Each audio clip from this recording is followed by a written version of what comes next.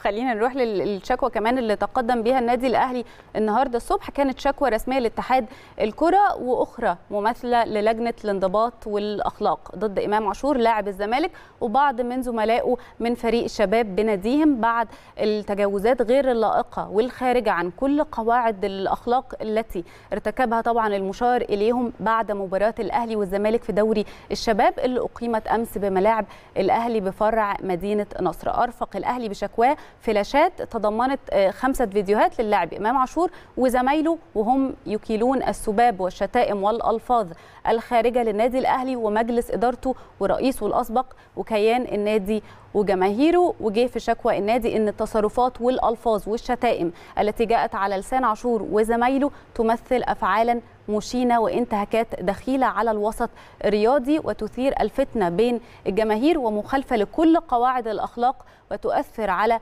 سلوكيات الشباب بل وتخالف بالأساس لوائح الاتحادين المصري والدولي لكرة القدم وكذلك طبعا زي ما قلت الدولي لوائح فيفا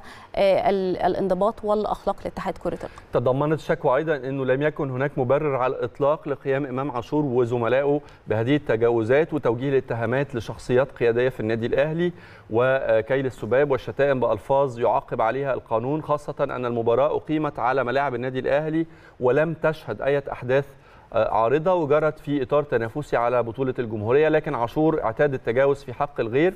وسبق وان قام بالتعدي على لاعب الأهلي وليد سليمان عقب مباراة السوبر المصري اللي أقيمت في الإمارات بالركل بالقدم وبشكل فيه انتهاك لكل قواعد الأخلاق والأدب خاصة أن وليد سليمان كان ملقى على الأرض وقامت لجنة الانضباط والأخلاق بإيقاف عاشور عشر